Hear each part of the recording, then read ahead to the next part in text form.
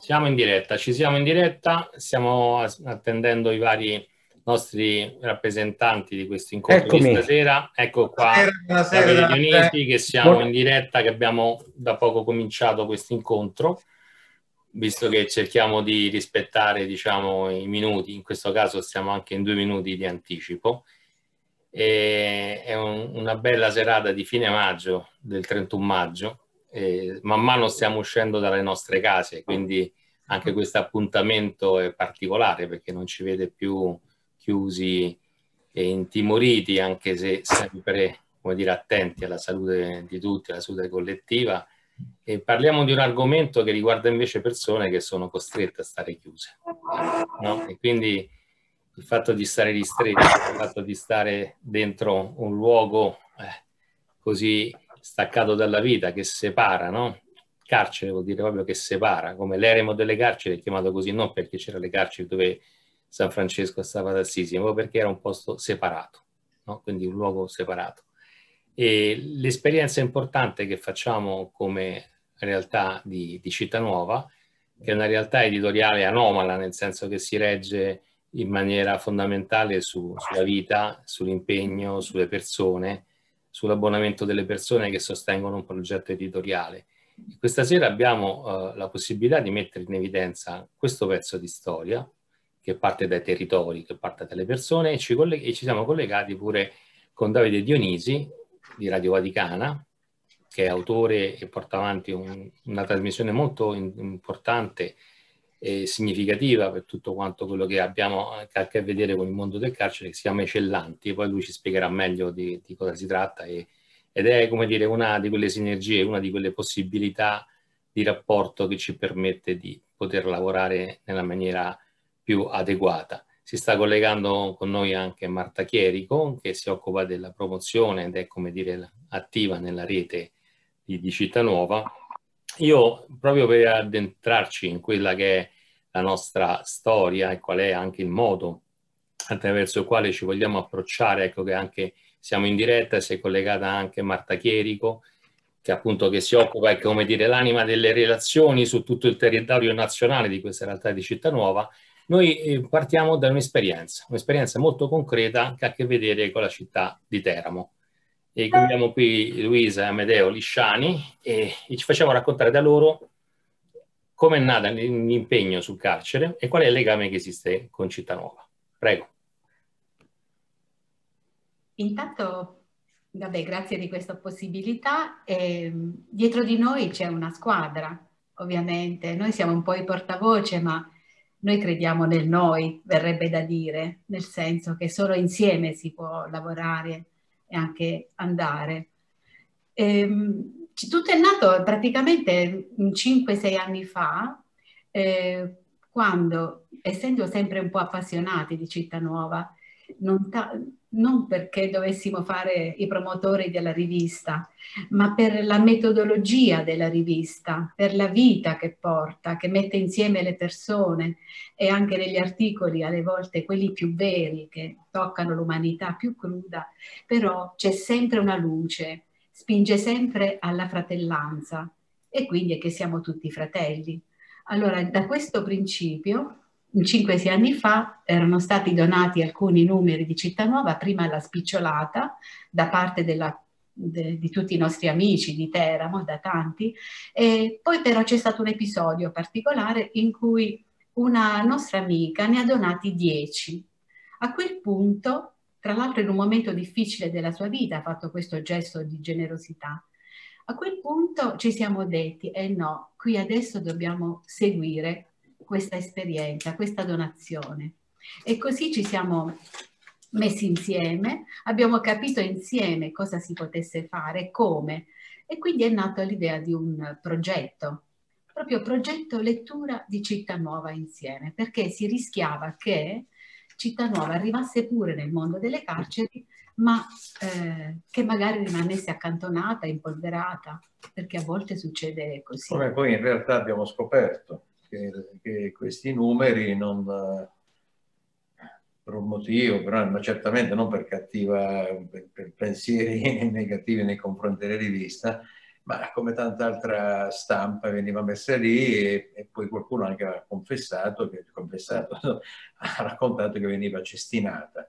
E allora questo ci ha spinto veramente a prendere posizione, cioè insomma una rivista preziosa, frutto anche di sacrifici di questa nostra amica. E allora ecco, abbiamo, come diceva Luisa, abbiamo pensato di, di, di, di andare ad indagare, di, di chiederci se questa rivista veniva distribuita, se veniva letta e così poi... Ecco, e da qui è nato proprio il progetto. Questo progetto richiedeva comunque entrare in una struttura carceraria che già è posta lontano dalla città e inoltre chiedeva assicurazioni, quindi per poter entrare non sarebbe stato subito facile. Per noi è stato pure molto prezioso accogliere la, il suggerimento della responsabile dell'area trattamentale che ci diceva eh, facciamo una presentazione della rivista perché in effetti non la conosciamo. E così è venuto anche Carlo un, una domenica durante le messe della, delle varie sezioni, dall'alta sicurezza ai protetti e poi media. alla media sicurezza, e, e lì è stata presentata questa rivista con interesse e curiosità di tutti. Da quel momento in poi seriamente abbiamo preso l'impegno e quindi con costanza, fedeltà, davvero possiamo dire, eh, ci siamo, siamo entrati. Eh sì, siamo entrati inizialmente, pensavamo di fare ogni 15 giorni, anzi abbiamo iniziato ogni 15 giorni, eh, però ehm, quello che veniva con questi con gli incontri con gli ospiti appunto della casa circondariale, si percepiva proprio fortemente il desiderio di vederci più spesso possibile.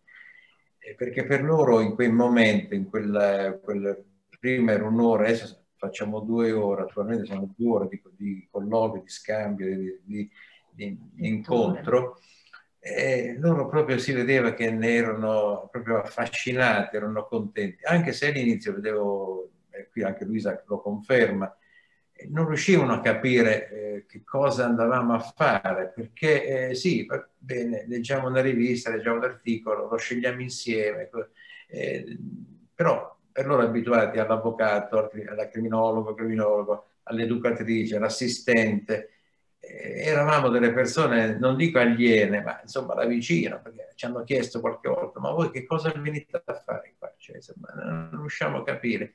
E qui ci è voluto veramente molto, molto, molta forza e molto amore verso la rivista, perché qualche volta erano 7, 8, 10, qualche volta erano 1, 2, e quindi abbiamo continuato e finché il numero eh. Sì, sì, è cresciuto, ma si è anche, come dire, sgretolata o dissolta quel velo di, diciamo, un po' di, non di diffidenza, di non, di, eh, diciamo, sì, che non riuscivano a capire e, e, i legami sono diventati anche sempre più forti e, e quindi anche una situazione veramente che cresce sempre, ecco, non è mai, non è statica, è dinamica.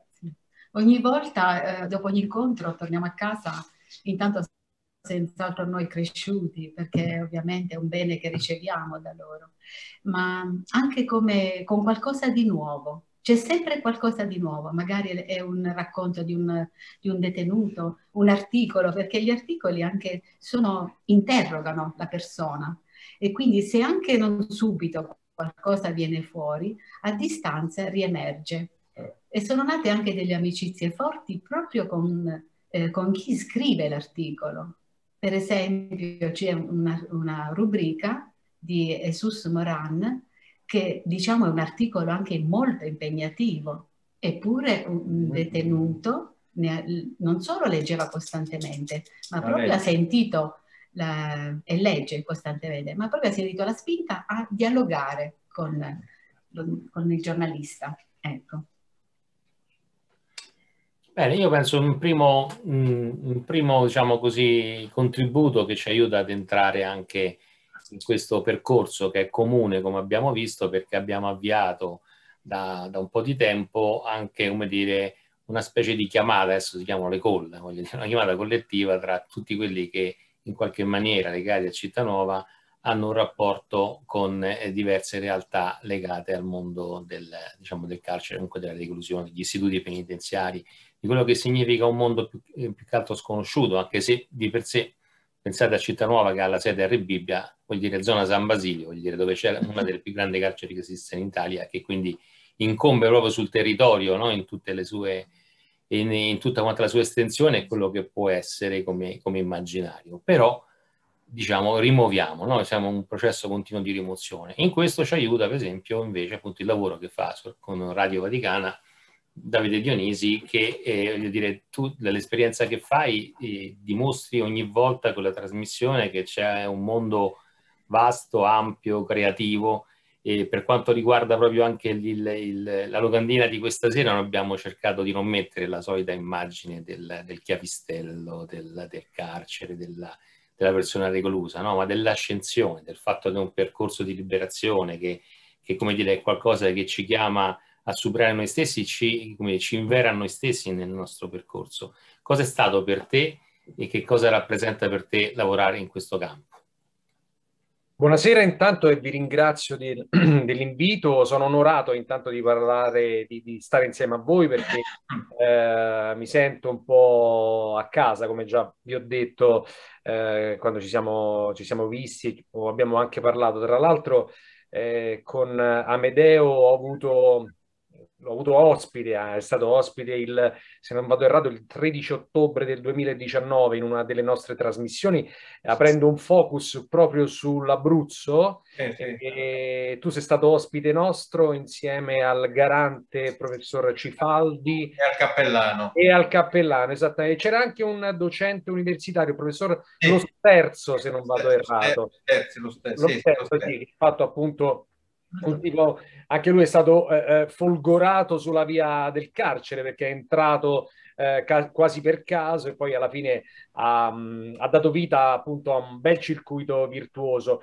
Eh, Carlo, non voglio correggerti, ma non solo è, è il, tra i più grandi europei eh, di eh, istituti di pena d'Europa, ma perché sono tre ha, ha, tre direzioni diverse. Sottolineerei questo, questo, fatto che non è un dettaglio, perché ehm, come forse tanti non sanno, ma Bibbia, avendo tre direzioni, significa che ha tre realtà diverse. Ci sono le donne, una direzione, ci sono i cosiddetti eh, comuni, eh, dove ci sono anche tanti, tanti ospiti in attesa di giudizio, sono oltre un migliaio di persone che, eh, che vivono lì dentro, e poi c'è la reclusione eh, ci sono 350-380 detenuti nella casa di reclusione di Rebibbia, senza poi parlare che ci sarebbe anche una quarta sezione, che sono i cosiddetti collaboratori di giustizia che vivono in plesso eh, distaccato per ovvi motivi rispetto agli altri tre, perché non possono avere contatti, come, come voi sapete, con, con l'altra eh, popolazione eh, carceraria. Vengo a, alla domanda e ehm, alla richiesta di, di, eh, di Carlo. Um, dunque, noi mh, abbiamo iniziato questa, questa avventura eh, non con i cellanti, ma con il Vangelo dentro, che è stato appunto un'esperienza straordinaria, far leggere appunto nei tempi forti dell'anno liturgico eh, ai detenuti il Vangelo del giorno, quindi durante il periodo della Quaresima e durante il periodo dell'Avvento, la parola del giorno e poi eh, senza alcuna rete far interpretare la parola del giorno. Allora è uscito eh, uno, uno, spaccato che ha mh, delineato un carcere completamente diverso. Eh, opportunamente Carlo l'ha definito pianeta sconosciuto, ma è un pianeta sconosciuto però abitato da persone concrete, il carcere. E esistono in sostanza le mura che delimitano l'area di detenzione, ma esistono e ce ne siamo accorti durante le 100 puntate, siamo arrivati a 100 puntate dei cellanti, a 450 ospiti in questi, in questi due anni, anche le, le, le, barriere del pregiudizio che in qualche modo segnano le, la dimensione di questa, di questa esclusione. Però noi siamo partiti da un presupposto, un presupposto che mh, francescano nell'accezione del mio datore di lavoro, che comunque la persona non coincide con il male che ha compiuto. Partendo da questo presupposto abbiamo voluto accendere i riflettori solo ed esclusivamente, ma è stata una scelta editoriale questa qui, eh, eh, sui circuiti virtuosi che avvengono all'interno del carcere. Abbiamo raccontato continuiamo a raccontare tante tante storie tante storie ehm, e io vorrei in qualche modo sottolineare le, le storie proprio dell'ultimo anno. Perché dell'ultimo anno? Perché le storie dell'ultimo anno ci hanno, ci hanno fatto vivere non una detenzione, ma una doppia detenzione, che è stata quella della pena da scontare, ma è stata quella anche del coronavirus, quindi della, della pandemia, perché e addirittura in, in, alcuni casi anche una tripla detenzione, che è quella delle donne, perché se vogliamo la donna poi patisce il carcere dal punto di vista proprio architettonico, non nasce per le, per le femminucce, ma nasce per l'uomo, quindi anche lì eh, loro in qualche modo non solo sono ospiti perché hanno commesso un reato, ospiti perché poi vivono anche il dramma di essere mamme, di essere figlie, ospiti anche perché il coronavirus le ha completamente allontanate, se non eh, magari attraverso le, le, videochiamate, ma è sempre il contatto fisico e poi sempre quello che eh, Amedeo, Luisa, se non vado errato, eh, la moglie sì, Luisa, scusami, eh, hanno sottolineato non apertamente, però hanno già anticipato quella, quello che è il, il segreto no? del, del loro stare in carcere. Immagino che la ricetta fondamentale è quella dell'ascolto. Cioè, le persone che vivono, che vivono, le persone private della libertà vogliono essere ascoltate, ma non essere ascoltate solo ed esclusivamente dal magistrato, essere ascoltate dal, ehm, dal, cappellano, per carità, dal direttore del carcere, dal vescovo che viene, oppure dal religioso, dal missionario, oppure dall'una tantum, dalla visita che avviene una volta ogni mese. Vogliono essere ascoltati costantemente perché dietro di loro c'è un vissuto, uno spaccato che, tra l'altro, come diceva bene Luisa, ogni giorno ci insegna cose nuove. Cellanti vuole fare proprio questo, ha fatto e continua a fare proprio questo, a raccontare delle storie inedite, eh, senza pruriti giornalistici, attenzione perché io vedo che poi ehm, ci si va a occupare di carcere solo ed esclusivamente quando ci sono delle rivolte o quando c'è il detenuto ehm, che ha una particolare visibilità mediatica, quindi andiamo a scoprire che cosa come sta vivendo questo suo momento, eh, oppure magari il detenuto illustre, cioè quello che ha avuto maggiore risalto all'interno eh, dei media, dei, dei, giornali, del web, è finito lì dentro e adesso come vive e continua a fare notizia non tanto per quello che sta vivendo lì dentro, per quanto la situazione, quanto per quello che poi alla fine potrà capitalizzare una volta uscito, se lo farà eh, ciascuno di voi ha capito sostanzialmente magari di chi sto parlando senza magari sottolineare. Eh, che cosa abbiamo raccontato durante questo anno? Abbiamo raccontato eh, di situazioni drammatiche, abbiamo raccontato però anche bellissime storie di quella solidarietà che assolutamente non ti aspetti dalla volontà di ragazzi, di ragazze, eh, anche di, di, di, giovani, perché abbiamo visitato anche il minorile in questo momento, cercando di tenere sempre desta l'attenzione su una realtà che troppo spesso è dimenticata, perché diciamo la verità, possiamo dircelo tra noi addetti ai lavori, la quello che è il sentito comune, quello che è il volere comune è che chi ha commesso un reato l'importante è metterli dentro e poi buttare via la chiave. E, ehm, questo non, non, può funzionare, non, non, ha funzionato in passato, non funziona oggi. Eh, perché? Perché dimenticare le persone eh, eh, non, non, vuol dire cioè inserire in un circuito vizioso come quello del carcere eh, una persona non, non, vuol dire assolutamente punirla, quindi da qui dobbiamo un po' ribaltare no? la, la, la nostra visione del carcere. Eh, il carcere deve essere assolutamente un momento di, di, di riabilitazione, di, di, apertura, di confronto, eh, perché tanti stanno lì dentro, l'abbiamo scoperto attraverso la nostra trasmissione, per, solo semplicemente perché magari sono nati e vissuti in un contesto sociale che purtroppo li ha penalizzati fin dalla nascita. Eh, abbiamo scoperto ragazzi che volevano studiare, però magari i genitori erano già in uno stato di detenzione, già spacciavano droga, già ehm, avevano comunque a che fare con un palazzo, un ambito circostante legato strettamente a famiglie eh, mafiose o magari dovevano obbligatoriamente, obbligatoriamente, io sottolineo l'obbligatoriamente, stare all'interno di questi circuiti perché comunque non c'era alternativa, perché la scuola non esisteva. Eh, mi raccontò un giorno un cappellano eh, di, della, dei ragazzi che, che lui eh, seguiva, eh, parlo di un minorile, Cappellano mi disse, sai Davide, la prima cosa che, che faccio quando i ragazzi entrano qui dentro, che cosa, eh, come mi rivolgo a loro, che cosa gli spiego?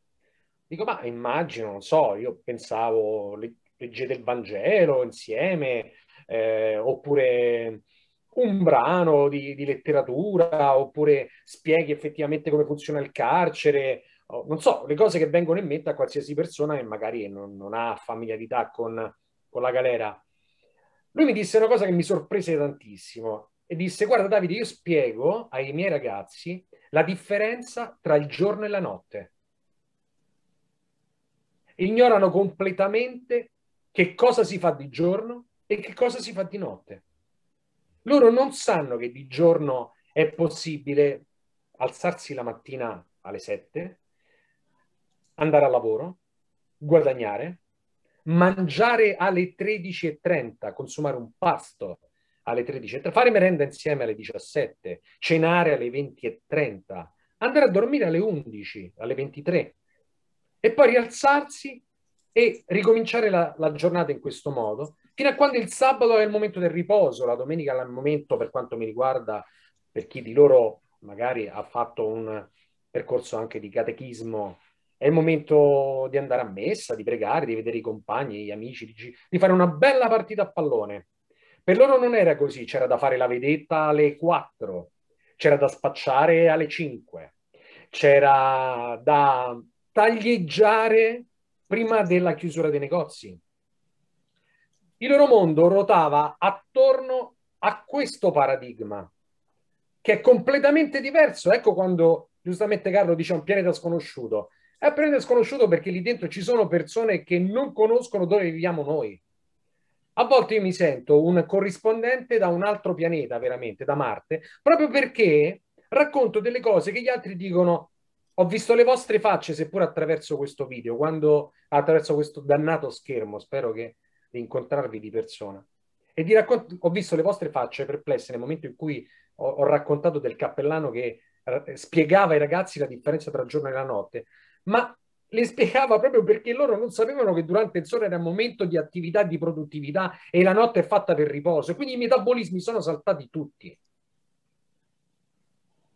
E questo a me ha colpito tanto e a me piace ripeterla questa cosa qua, piace raccontarla come esperienza perché ehm, ho assistito anche, vi racconto anche non vorrei monopolizzare per carità. No, no, vai, vai, fai questo poi ci ritorniamo. Decidi, decidi, tu poi, perché poi eh, prego, ho tantissime cose da raccontare. Racconti di vita, racconti di... Eh, sì, ehm, mi ricordo per esempio, eh, ho trovato molto, molto bello, eh, tra l'altro un'esperienza molto formativa, portare i ragazzi delle quinte in carcere, no?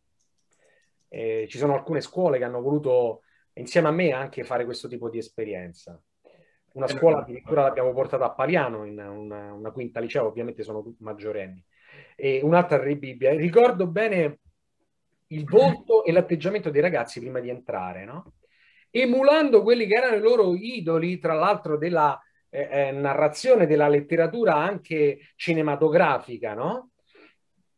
Parlo di Gomorra, parlo del romanzo criminale. E quindi s'atteggiavano immaginando un carcere come eh, appunto il cinema ce lo ha raccontato.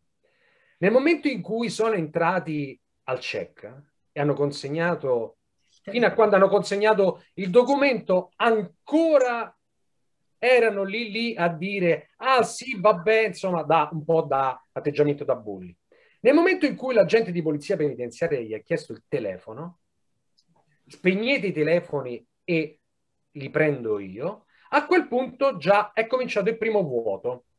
Dopodiché, varcando la prima soglia e costeggiando, non so se siete mai stati a Ribibbia, il lungo corridoio che li accompagna verso il teatro, hanno i, diciamo, quelli un po' più, eh, eh, diciamo, mh, eh, eh, meno, eh, più timidi, hanno cominciato già ad avere un atteggiamento un po', come dire, guardingo. Gli altri, a mano a mano che siamo entrati all'interno del teatro, dove avrebbero avuto un incontro sul bullismo con loro, con i detenuti, non hanno più parlato e sono rimasti in apnea. Che cosa è successo? Io sono rimasto dietro loro, mi sono staccato per vedere nel momento in cui eh, l'accesso per godermi, tra virgolette. Ma qui appunto c'è sta la, la, la, diciamo, l'elemento giornalistico, la curiosità giornalistica, per vedere eh, nel momento in cui eh, entravano nel teatro, cosa avrebbero fatto. Allora voi, allora io ho visto il gruppo di ragazzi che si è spostato proprio plasticamente tutta la destra, quasi addosso, cioè, eh, eh, costeggiando il muro e lasciando tra ehm, chi sarebbe da lì a poco venuto in, eh, in teatro, ossia i detenuti, un, varco di 7 metri, 5-6 metri. Nel momento in cui sono entrati, hanno completamente cambiato faccia. Tre sono andati al bagno immediatamente e posso dirlo, se la sono letteralmente fatta sotto. Quando eh, hanno, hanno visto, li hanno visti dal vivo e hanno cambiato immediatamente atteggiamento. Poi loro, chiaramente, eh, siccome poi hanno fatto parte della, della, redazione, avevamo fatto una, selezio, una, selezione tra i detenuti, avevano fatto parte della, della, redazione del Vangelo dentro e dei Cellanti, perché ogni volta che entriamo abbiamo avuto anche la fortuna, eh, grazie ai permessi del Dipartimento dell'Amministrazione Penitenziaria e grazie anche a direttori e direttrici illuminati sotto questo punto di vista, di costituire delle mini redazioni giornalistiche di lavorare con me sia per i cellanti sia per il Vangelo dentro. Poi, ma l'atmosfera vi posso garantire che non, non si è mai sciolta, è rimasta sempre eh, piuttosto fredda, fino a quando poi i detenuti si sono loro stessi avvicinati ai ragazzi e hanno raccontato un po' com'era il carcere, eh, sono usciti e hanno avuto, so dai loro docenti che mi hanno raccontato, guarda Davide, è stata un'esperienza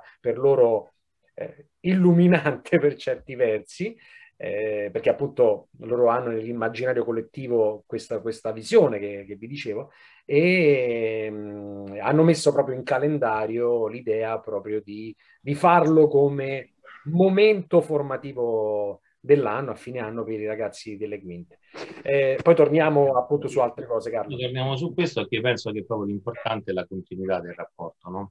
Come qualsiasi iniziativa, non è quella del momento emozionale o quello che può essere l'una tanto, è la continuità del rapporto che poi permane con le persone.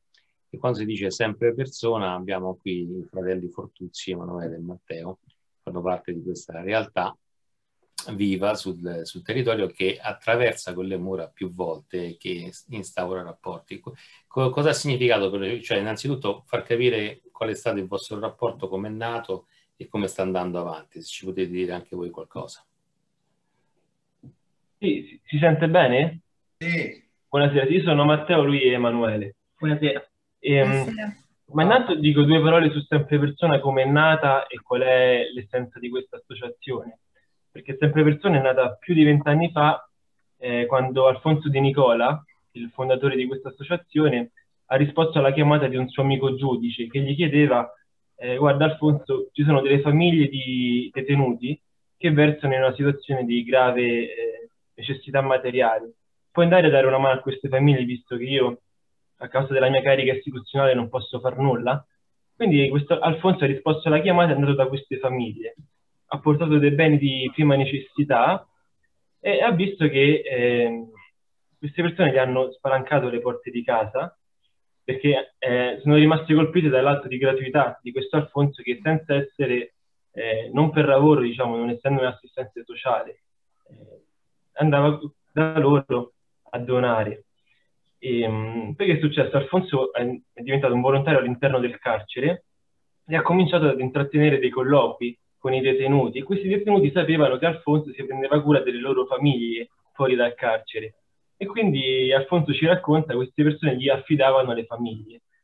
E che succede? Molti detenuti una volta usciti dal carcere hanno deciso di seguire Alfonso e quindi ha preso piede questa associazione che tra i volontari conta, come dicevo, anche degli ex detenuti. E cosa facciamo? Noi andiamo da queste famiglie e portiamo eh, in genere dei beni di prima necessità, cerchiamo da loro uno o più volte al mese. E, ehm, solo cosa abbiamo capito? No? Ci siamo più volte interrogati perché ci siamo detti, certo, portiamo questi beni, ma non cambiamo la vita di queste persone con questi beni perché eh, quando esci dal carcere se hai sul curriculum la detenzione, il lavoro non, lo, non lo trovi. Eh, poi, come diceva anche Davide, i figli di questi detenuti, ex detenuti, vivendo in quelle zone così complesse, noi operiamo soprattutto a Sorbella Monaca, Ponte Mammolo, eh, la, la, scuola non è più un'attrazione, non è più una promessa di un futuro diverso, quindi non finiscono neanche il liceo e abbiamo capito che sbagliare è molto facile, perché ci raccontava una volta un, un ex detenuto, eh, là ti si presentano con eh, un pacco di cocaina in mano, ti dicono guarda la vendi in una settimana e c'è quei 2500 euro, lavorando legalmente quei 2500 euro li fai in più mesi, allora si capisce quanto è facile sbagliare in quelle realtà. E crollano i pregiudizi, come diceva bene prima Davide. Ma cosa facciamo noi? Abbiamo capito che più che eh, diciamo, compiere una donazione materiale, doniamo noi stessi, perché quello che vogliamo costruire con queste persone sono dei rapporti di amicizia, ehm, dove questa donazione nostra non è che ha dei limiti, perché diciamo abbiamo anche un po' capito come deve essere il volontario, no? Il volontario non è colui che magari vive la sua vita ordinaria, poi ha del tempo libero e qualche ora di quel tempo al, al mese la dedica a queste persone, no? È una donazione che non deve avere limiti. Per esempio, oggi pomeriggio mi ha chiamato Refia, una signora che seguiamo, e mi ha parlato un po' dei suoi problemi, così ci siamo confidati. E si crea questo rapporto di reciprocità per cui non siamo alla fine noi che facciamo qualcosa per loro, ma siamo noi che facciamo qualcosa insieme con queste persone. Cioè diamo vita a un modello di comunità basato sulla reciprocità, perché poi loro sentono questa nostra gratuità, questo loro, nostro voler bene, questo nostro amarli, e poi loro anche si sentono di, dove, racconterà poi meglio Emanuele le esperienze, si sentono di dover eh, amarci a loro volta. E quindi nasce questo modello fondato su, anche sulla reciprocità. E, quindi sì, cadono i pregiudizi, eh, capiamo anche chi è il volontario. Eh, il volontario appunto è uno che capisce che la propria felicità è legata a quella degli altri, che non si è felici da soli e quindi è fondamentale anche scoprire una mancanza dentro di sé che ti fa dire ma io ho bisogno di quel rapporto lì. Mi capita più volte che magari sto un po' giù e mi chiama Rosa, un'altra signora che seguiamo, è lei che mi tira su di morale attraverso una chiacchierata. Questa è la grandiosità del rapporto che si crea. E a Roma seguiamo più di 200 famiglie, siamo eh, una trentina di volontari, speriamo, come dice Alfonso, che possiamo diventare a migliaia. E, ecco, dico un'ultima cosa, ehm, come ci diceva un tempo la vice direttrice della casa circondariale di Re Bibbia, ehm, di volontariato nel carcere, nel carcere ce n'è, fuori, fuori manca. Il problema è che appunto lo Stato dimentica queste persone qui, che poi si sentono anche abbandonate dalla comunità e quindi la rabbia raddoppia. Questo ce lo raccontava Carlo, un altro ex detenuto che seguiamo. Quindi noi capiamo anche la nostra importanza di questi rapporti qui, che poi ciò che prende forma è un bene relazionale, che è una cosa estremamente rara, e diventa sempre più rara. E, adesso magari vi racconterò nello specifico le esperienze che, che viviamo. Eh, sì, praticamente mh, oramai più di 4-5 anni fa, insieme a mio fratello e anche ad altri ragazzi, siamo rimasti un pochino eh, interessati, affascinati da quella che era l'esperienza d'Alfonso, allora abbiamo voluto provare anche noi e quindi siamo andati, eh, sì, quattro anni fa da una famiglia a Torbella Monaca, portando questo pacco di viveri eh, una volta al mese. Allora nel tempo abbiamo costruito insieme a loro un forte, un forte rapporto, una forte relazione, proprio si creava quando andavamo da loro un clima di famiglia e il tempo che trascorrevamo eh, con loro era molto gratificante, cioè ti riempiva immensamente di felicità. E allora mh, mi vengono in mente alcuni momenti che abbiamo passati insieme, eh, ad esempio una volta insieme ai ragazzi un di altro Bella Monaca, eh, abbiamo deciso di organizzare una, una festa a sorpresa per Carlo, eh, insieme alla moglie Rosa, e quindi eh, perché loro era da tanto che non andavano in ristoranti, in pizzeria, no? allora tutti insieme abbiamo deciso di portare questa famiglia insieme ai loro due figli in pizzeria e quando è stato il, giorno del compleanno di Carlo tutti insieme siamo andati a mangiare eh, una pizza e, ed è stato veramente bello, possiamo condividere momenti, però ci siamo per loro anche eh, nell'ascoltare quelle che sono le loro problematiche, le loro sofferenze, perché eh, alla fine eh, questo è anche un elemento importante, cioè esserci per loro anche in quei momenti di difficoltà. Magari non riusciamo eh, a fare nulla, però eh, essere noi per loro una valvola di sfogo eh, spesso per loro è molto importante. E allora ehm, da un po' di tempo seguiamo anche una famiglia eh, a Ponte Mammolo, è una famiglia molto numerosa che ha nove figli, l'ultima figlia è, nato, è nata qualche mese fa ed è stato bellissimo come in questi mesi insieme abbiamo aspettato questa bambina che nascesse, allora ci aggiornava sempre, magari ci mandava una foto della radiografia, no? È stato veramente bello eh, aspettare insieme a loro la nascita di questa bambina. E, e, e ad esempio l'ultima mese che siamo andati con loro, eh, da loro abbiamo festeggiato il compleanno di una figlia, naturalmente essendo nove di compleanni ce ne sono tantissimi, allora abbiamo portato eh, una torta, abbiamo spento insieme a loro le candeline e abbiamo giocato proprio con loro ed è stato bellissimo come il papà parlando con lui mi ha detto che quando noi andavamo da loro, come dire, lo sguardo dei bambini cambiava ed erano veramente contenti, cioè loro aspettavano eh, intensamente il nostro arrivo proprio per passare del tempo insieme, insieme a loro. E abbiamo giocato con loro per, um, per diverse ore. E, um, ultimamente seguo anche tre famiglie a Pietralata e in queste tre famiglie l'ultima volta ho portato anche dei ragazzi più giovani.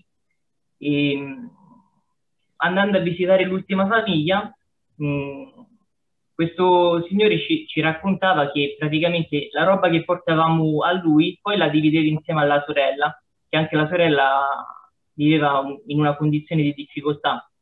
Allora caso ha voluto che io nel, nella macchina avessi un pacco in più e allora c'è stato uno dei ragazzi più giovani che ha detto ma perché non diamo questo pacco a, ad Orazio, si chiama, in modo tale che poi lo può dare alla sorella, no? E allora sono rimasto veramente colpito di questa cosa e subito sono andato a prendere questo pacco e l'ho dato ad Orazio. E in questo modo è bello perché anche loro possono rendersi utili e portare un po' di bene anche a, alle persone che conoscono.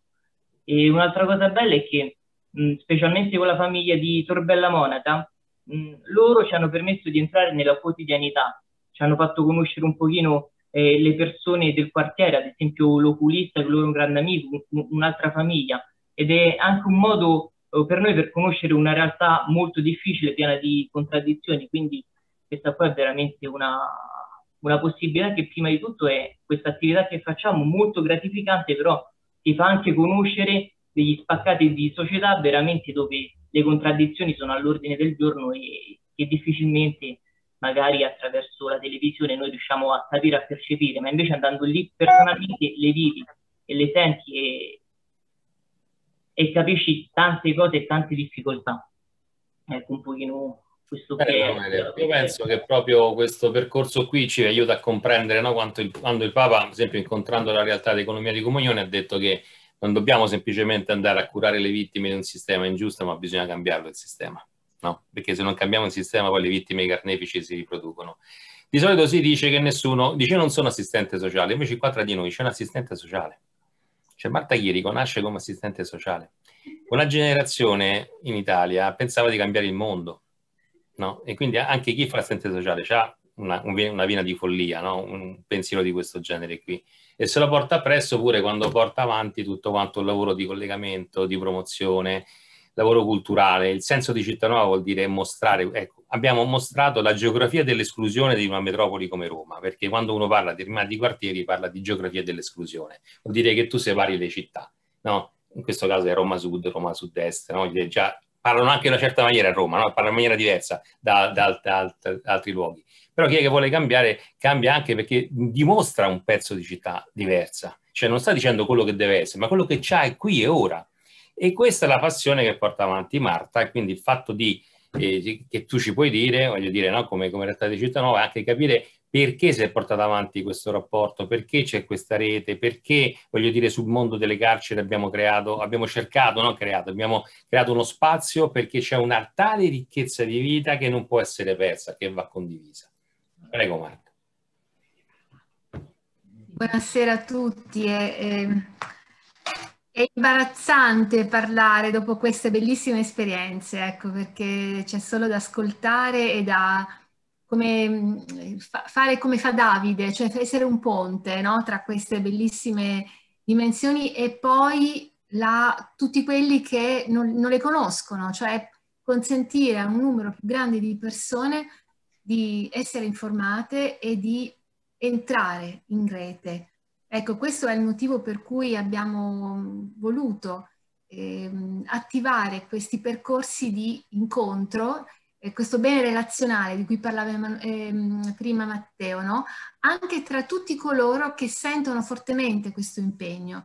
Ecco, ed è il motivo per cui questa sera siamo qui ed è il motivo per cui anche Città Nuova dà così eh, valore a, al vostro lavoro e al lavoro di tante persone che sono impegnate dentro e fuori le carceri. Ecco, e, mh, noi abbiamo la speranza sempre di più che Città Nuova sia anche un luogo in cui ehm, i, i detenuti possano esprimersi, le famiglie possano avere un luogo dove raccontare. Ecco, quindi attraverso il vostro lavoro, attraverso il vostro impegno, noi speriamo di, di poter essere la voce di chi non ha la voce, no? di questo popolo invisibile che, che ci appartiene, ecco, perché facciamo parte tutti della stessa società. E io, eh, come diceva Carlo prima, la speranza di poterlo cambiare questo mondo, io ce l'ho ancora. Io non l'ho persa e quindi ho la speranza con voi di, poterlo, di poter fare qualcosa. Ma già appuntamenti come quello di stasera sono la testimonianza che qualcosa si può fare e, e sempre di più allargheremo questo cerchio. Ecco Carlo, forse basta così. Sono al mio...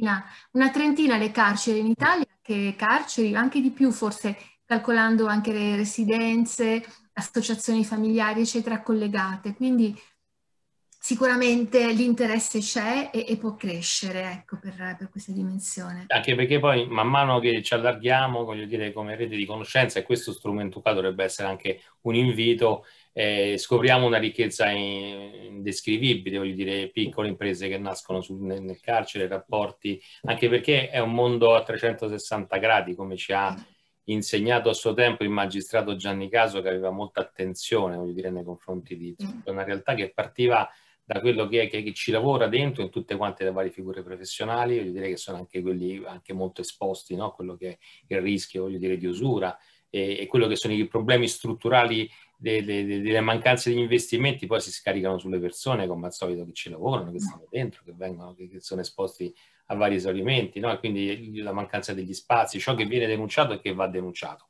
Noi l'abbiamo fatto anche tramite un dossier che si chiama Carcerati, in un dialogo aperto per esempio con realtà come l'associazione Antigone, eh, saremo anche in rapporto con Radio Radicale e con altre emittenti, per esempio su Roma ci sono altre emittenti impegnate sempre su questo fronte, e però appunto che cos'è, io direi, per una famiglia, voglio dire, come Luisa Amedeo Crisciani, cos'è che va cambiato a voi come prospettiva? Anche perché voi avete man mano portato fuori il carcere fuori dalla città. Io quando sono venuto con voi la prima volta che avete citato, Innanzitutto l'impressione è questa separazione, che il luogo è proprio brutto dove sta Castrogna, è proprio un luogo proprio terribile, no? Sarà che sta anche dopo il terremoto siamo arrivati, dire, no? E c'era questa immagine qua.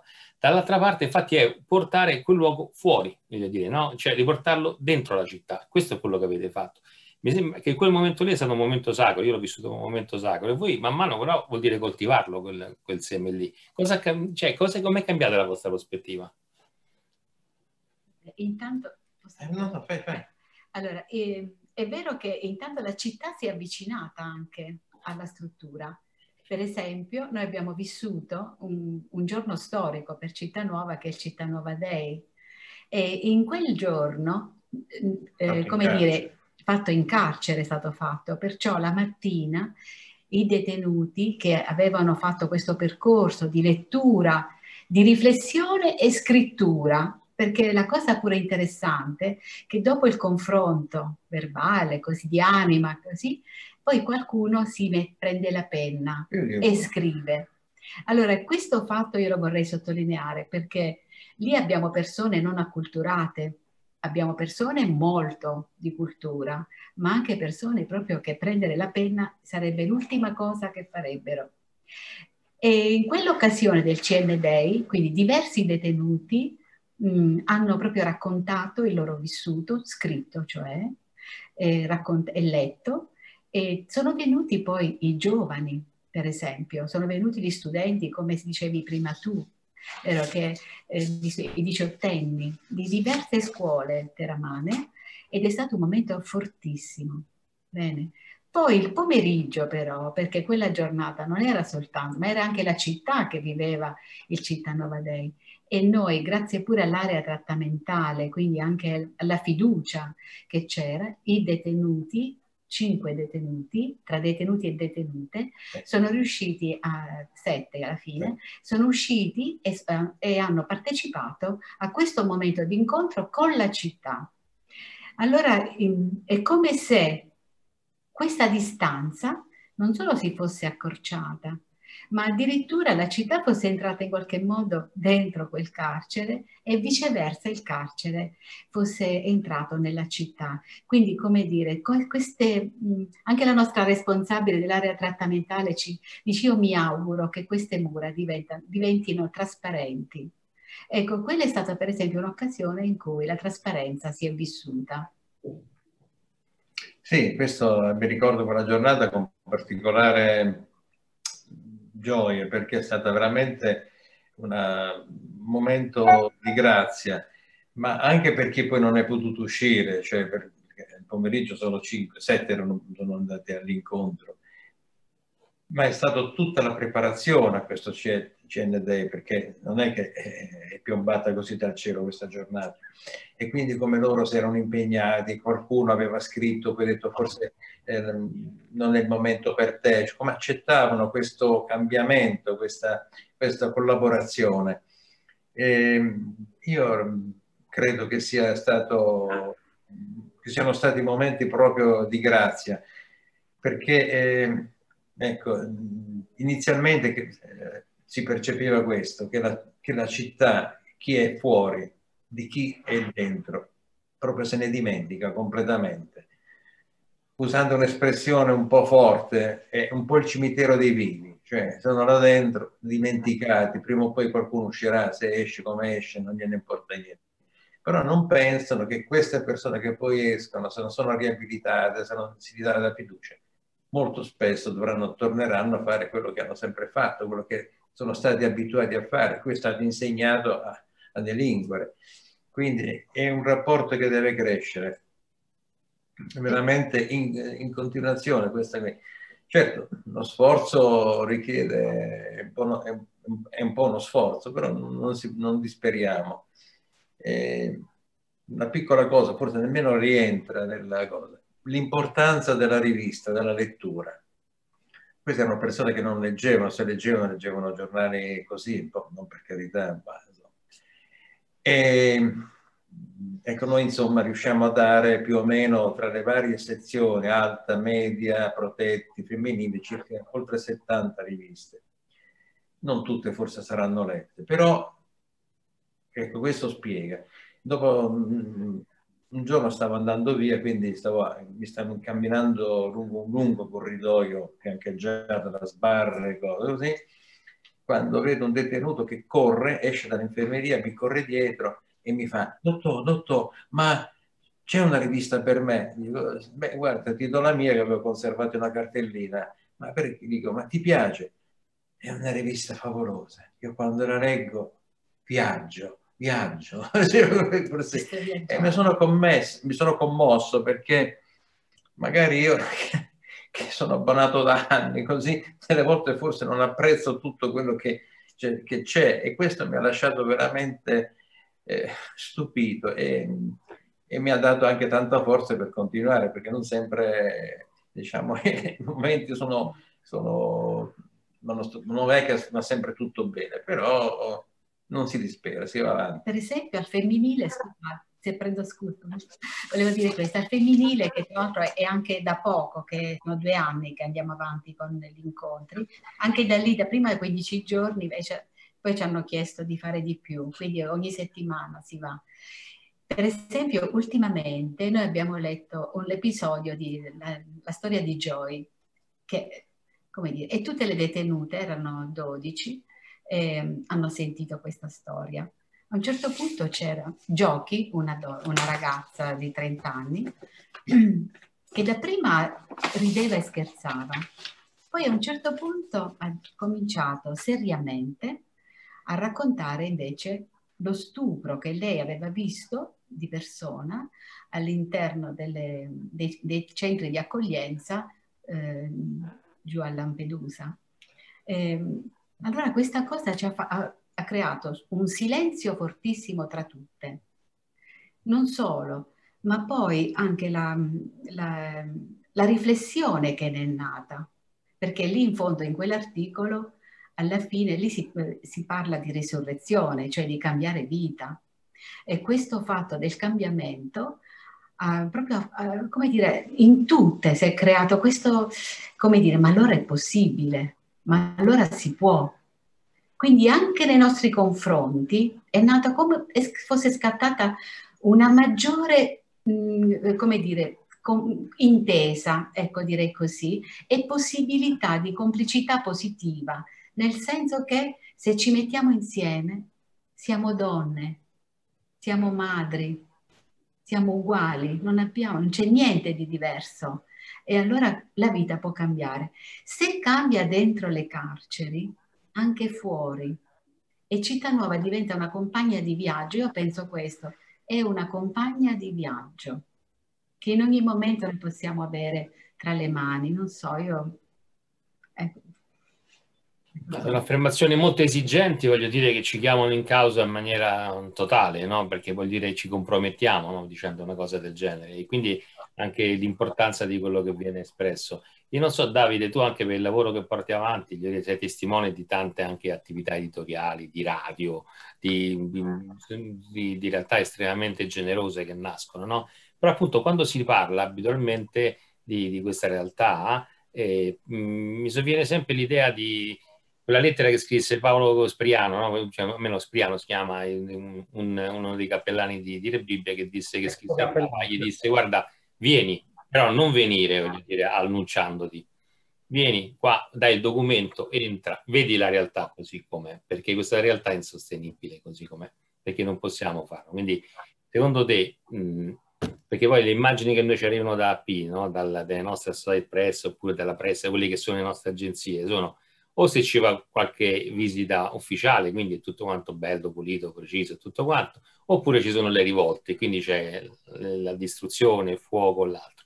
Secondo te, tu hai tantissime storie da raccontare, ma secondo te qual è dire, la riforma essenziale che va fatta anche soprattutto in Italia relativamente al carcere? Cos'è che non funziona? No? Perché se un mondo rimosso vuol dire che poi ci sono anche una mancanza di attenzione. C'è chi dice costruiamo carceri più grandi, oppure facciamo oppure eh, la mentalità che dicevi tu con la forcaiola, ma dall'altra parte le persone hanno anche timore nei confronti di una, di una eh, società, di una malavita organizzata che più delle volte magari si salva, invece i poveri cristi rimangono intrappolati, no? perché il problema è che le diseguaglianze si ricreano. Secondo te, dalla tua esperienza, che cosa emerge come necessità di cambiare?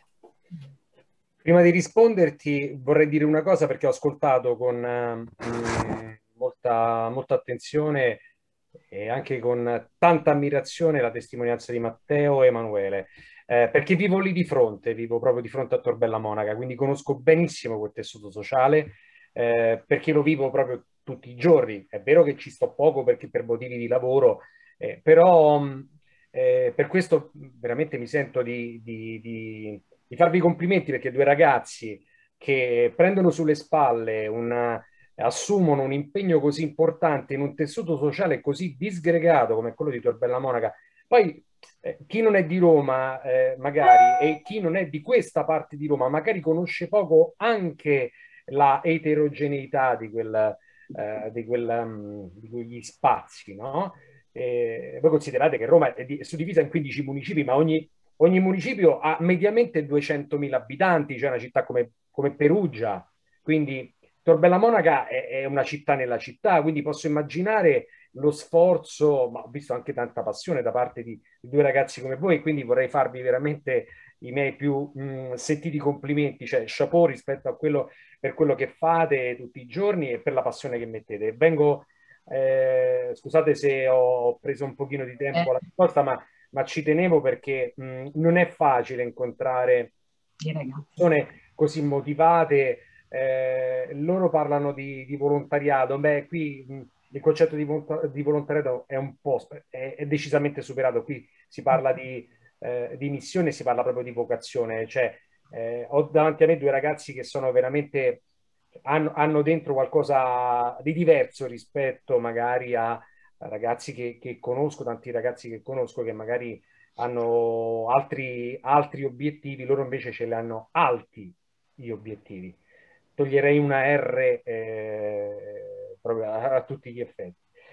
Vengo alla risposta, mh, mm, vengo alla domanda di, di, Carlo. Diciamo la verità, nel nostro paese, dal mio punto di vista, io quello che ho visto, c'è troppo carcere. E fino a quando la, la situazione mh, mm, rimarrà, questa sarà impossibile ogni discorso di rieducazione, di recupero, di reinserimento. Eh, si impongono, dal mio punto di vista, revisioni ampie ed organiche eh, risposte anche in termini penali.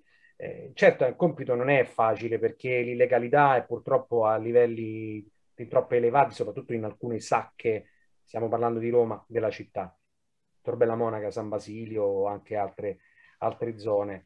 E, ehm, però ci sono le normative europee che impongono soprattutto al nostro paese anche risposte davvero importanti, davvero adeguate.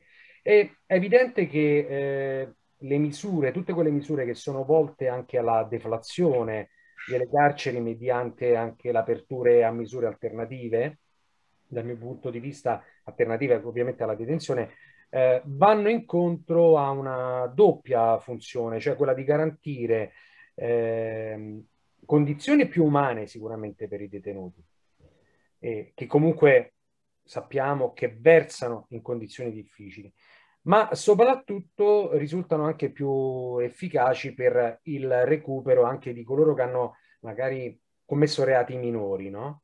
E, e che mediante un sistema anche di quella che noi chiamiamo e conosciamo, noi addetti ai lavori di giustizia riparativa, eh, hanno più possibilità di non delinquere ulteriormente.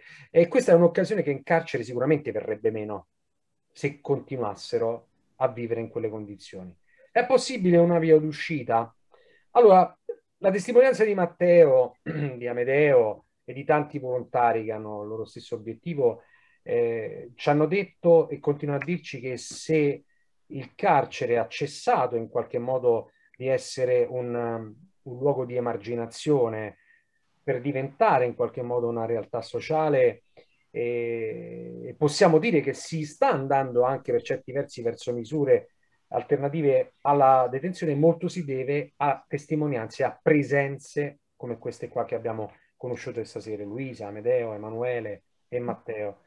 E perché nel tempo volontari, continuo a, a, a, parlare di volontariato, ma mi sono già espresso preventivamente, è qualcosa di più. Dobbiamo coniare sicuramente per quanto riguarda il carcere un nuovo, un nuovo termine.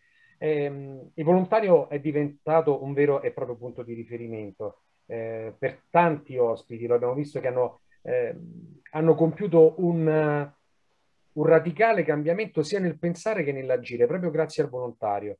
perché? Perché ha svolto un ruolo sostanzialmente innovativo per quello che è la, il sistema carcerario nazionale. Lo continua a svolgere eh, in una concezione della pena che non è limitata alla detenzione. Ecco secondo me qual è la forza innovativa del, del volontario. E la vicenda del coronavirus, pur nella sua drammi- drammaticità, attenzione, ci ha confermato che il carcere, lo ha confermato ai cellanti, lo ha confermato, e lo, ce lo dicono anche tanti nostri radioascoltatori, può essere un luogo educativo, anzi direi rieducativo, eh, dove poter anche esprimere continuamente una personalità eh, attiva sia verso lo Stato, quindi verso l'universale, che anche verso il particolare, verso il gruppo, i gruppi, il gruppo e la società. La scrittura a cui faceva riferimento prima eh, Luisa ehm, è considerato da molti, di, eh, da molti direttori attività trattamentale. Perché? Perché proprio diventa un elemento catartico, perché per la prima volta riescono ad esprimersi, anche con il loro modo, ma hanno sicuramente un riper- hanno la possibilità di percorrere il loro, il loro vissuto, di esprimerlo, di raccontarlo in maniera completamente diversa a un pubblico che comunque non ha la toga. E non, riesco, non, ha, no, non è abbigliato in maniera tale o non ha il piglio o, o ehm, l'atteggiamento di colui che ascolta solo perché deve rientrare all'interno di un'attività processuale. Eh, il carcere allora che cos'è? Come dovrebbe essere? Un territorio di frontiera che oggi sicuramente, più che nel passato, eh, per rispondere a Carlo, esige sicuramente un surplus di progettualità, questo sicuramente, per operare in favore della comunità, non solo quella carceraria, eh, anche quella esterna, perché è importante.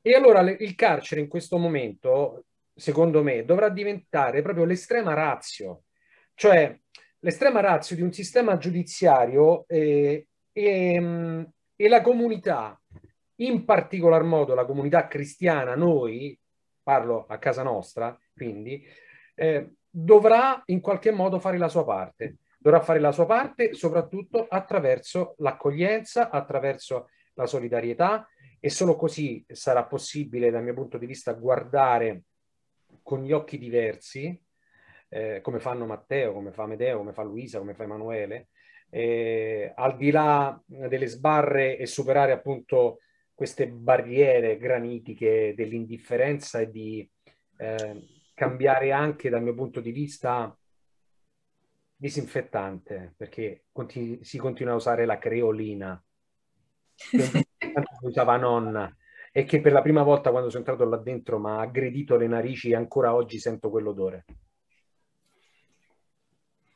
hai disegnato sempre appunto questo percorso da portare avanti sempre più con coerenza, con impegno comune, no? E quindi questa, questi vari appuntamenti che portiamo avanti sono come dire un incentivo a fare questo, no?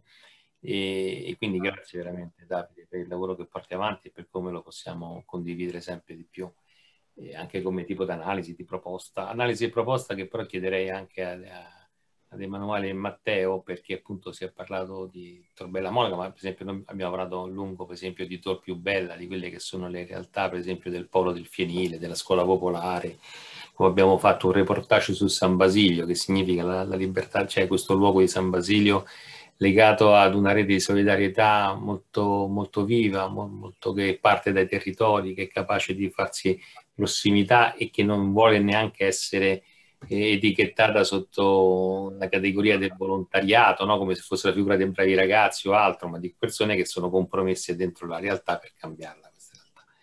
Da, da quello che la vostra evidenza, c'è Marta che vuole, è contenta di far vedere anche delle foto del, dell'attività, quindi se mentre parlate possiamo anche, se Marta vuole, magari si possono condividere queste foto, dire anche dalla, dalla vostra esperienza molto concretamente, anche come percorso, quale può essere, no? anche, magari ci esprimete queste, queste foto, magari ci descrivete queste foto e poi magari ci dite qualche proposta.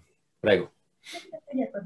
Sì, ehm, intanto eh, rispondo a Davide dicendo che per fortuna oltre a me e Emanuele ci sono tante altre persone che collaborano, magari molte persone non possono andare di persona eh, in questi posti qui, ma materialmente ci aiutano molto. Durante il, la quarantena da Covid abbiamo aiutato eh, materialmente queste famiglie sono venute tante donazioni e quindi è bello vedere che c'è una collettività che si muove verso queste persone.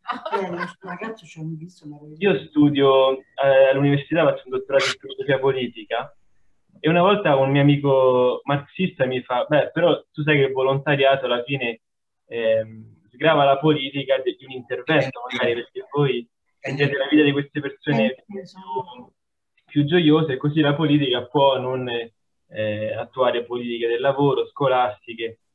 Eh, ma io, io gli ho risposto che devo ancora spiegarmi bene cosa sta accadendo ma come diceva bene prima Emanuele, magari queste persone, vedendo che noi siamo felici di eh, donare, donare il tempo, donare eh, noi stessi, magari vedendo che siamo felici a loro volta mettono in atto quei comportamenti lì.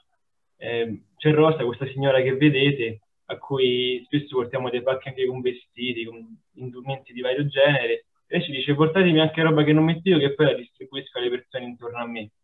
E quindi anche lei si rende partecipe di questa dinamica, ne chiamiamo dinamica d'amore, ma davvero può cambiare le vite. Eh, a me mi verrebbe da dire che veramente mh, attraverso questa esperienza penso che eh, ho avuto ho l'opportunità di maturare uno sguardo diverso anche su queste realtà, perché effettivamente eh, sentendo un pochino le nostre esperienze uno può percepire qualcosa, però poi andando concretamente, fisicamente in quelle situazioni, ehm, ti accorgi veramente delle difficoltà e maturi effettivamente eh, e conosci quei luoghi e tutte le la disuguaglianza che, che esiste. Ed è un pochino questo quello che, che mi verrebbe da dire, cioè c'è bisogno veramente di impegnarsi concretamente e metterci il viso. E ridare dignità a queste persone proprio, insieme però, cioè, noi non andiamo per loro insieme, noi eh, magari superiamo uno stigma che c'è nei confronti di queste persone, insieme lo superiamo, cioè eh, queste persone alla fine rimangono persone, alla fine il nome dell'associazione è sempre persona, c'è dignità in queste persone. Mm.